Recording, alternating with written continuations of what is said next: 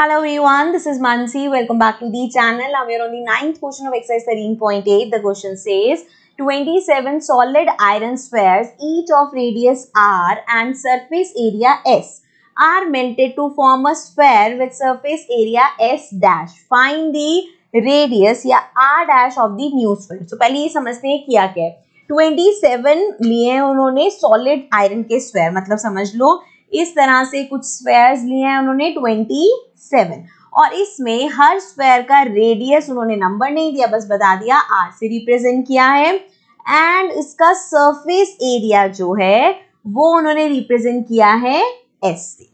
अब ये 27 स्क्वायर सारे एक साथ लेके इसको मेल्ट कर दिया जब इसको मेल्ट किया तो मेल्ट करके एक बड़ा सा स्क्वायर बना दिया। ठीक है? अब इस बड़े से स्क्वायर का सरफेस एरिया हमें गिवन है एस डैश हमें निकालना है इसका radius now the thing is इन दोनों में क्या कॉमन चीज़ें हैं? यहाँ पे ये 27 स्क्वायर का जो वॉल्यूम होगा, वो इक्वल होगा इस वन स्क्वायर के वॉल्यूम की। कैसे होगा? देखो, सिंपल सी है। यहाँ पे आपके पास जितनी छोटी छोटी चीज़ें थी, आपने सब कुछ मेल्ट कर दिया इसका मतलब है, जो उसका वॉल्यूम था, वो तो सेम ही रहेगा उसी वॉल्यूम की बड़ी वाली बॉल बनाएँगे। इसीलिए इन दोनों का वॉल्यूम सेम होगा। तो एक एक करके फाइन करेंगे हम। इसी में ही आगे बढ़ते हैं हम। देखो, सबसे पहले आप देखो, यहाँ कोई वैल्यूज़ नहीं है। सिर्फ़ आर और एस ऐसे आर डैश और एस डैश से रिप्रेजेंट किया है। अब अगर मैं निकाल रही हूँ volume of one small sphere एक छोटे स्फेयर का वॉल्यूम अगर मैं निकालू वॉल्यूम हो जाएगा four upon three pi R cube ठीक है? अब ये तो हो गया एक अब देखो आर हमारे पास आ रही है पाई की वैल्यू भी लिख के कोई फ़ायदा नहीं है, आगे हमें वो ही निकालनी है वैल्यू निकालनी है कट हो ही जाएगा. अब ये वन एक छोटे स्फेयर का वॉल्यूम आया ऐसे ही हमारे पास ट्वेंटी सेवन स्मॉल स्फेयर्स हैं जिसको उन्होंने मेल्ट किया है. सो so, उसका क्या हो जाएगा? अगर एक का ये है तो 27 के लिए इसको 27 से मल्टीप्लाई कर देंगे। सो so, इसको जब मैं 27 से मल्टीप्लाई करूँगी 3 से 27 काट होगा 9 हो गया 9 फोर थर्टी सिक्स तो ये आ गया thirty six pi R cube ठीक है? अब ये हमने वॉल्यूम निकाले अभी छोटे वाले जो स्क्वायर है उसका अब इसी तरह से हम वॉल्यूम निकाल लेंगे। बड़े वाले स्क्वायर का so volume of big square अब देखो, है तो वो स्क्वायर ही फॉर्मूला तो वही रहेगा। सो हमारे पास फॉर्मूला है four upon three pi R cube अब यहाँ पे बस आर की जगह क्या हो जाएगा? आर डैश और कुछ भी नहीं है। नाउ वी नो मैं यहाँ मेंशन कर देती हूँ फिर से कि वॉल्यूम ऑफ़ 27 स्मॉल स्पेयर जो हमारे छोटे 27 स्मॉल स्पेयर्स हैं, उनका वॉल्यूम इक्वल है volume of one big square बड़ा वाला जो एक स्क्वायर है, उसके वॉल्यूम के इक्वल है। ठीक है सो वॉल्यूम ऑफ़ 27 क्या है? यहाँ पे आ जाते हैं 27 अभी हमने निकाला 36 पाई आर क्यूब है।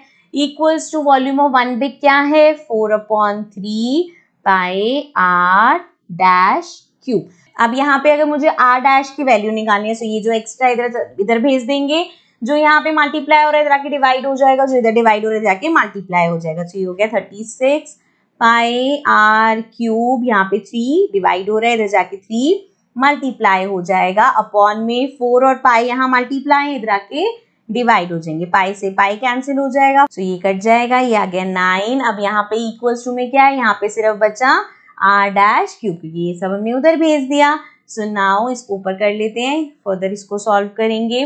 सो ये गया नाइन थ्री ज़ा ट्वेंटी सेवन साथ में आर क्यूब और ये इक्वल है आर डैश क्यूब के। हमें निकालना है आर डैश की वैल्यू उधर क्यूब है इधर भेजेंगे तो वो क्यूब रूट हो जाएगा। तो मतलब क्यूब रूट में हमारे पास आ गया twenty seven R cube which will be equals to R dash अब देखो 27 किसका क्यूब होता है? थ्री का।